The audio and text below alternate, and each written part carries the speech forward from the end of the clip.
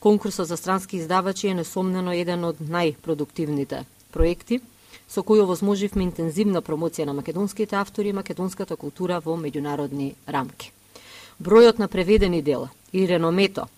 на издавачките куќи, ке спомнам дел од нив како Агора, Колибри, Антарес доволно говори за интересот за македонското творештво и за вистинскиот пристап на Министерството за култура, кое со оваа стимулативна мерка влезе во чекор со големиот број на европски земји кои веќе ја применуваат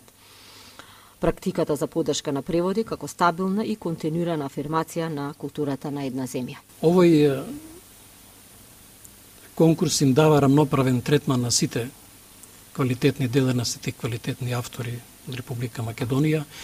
и посебно рамноправен третман и на младите автори. Во списокот на овие 15 ново подржани дела има две дела и од помладата генерација автори, тоа се Фросина Пармаковска и Натали Спасова, единствената единствениот млад лектир е на автор од Република Македонија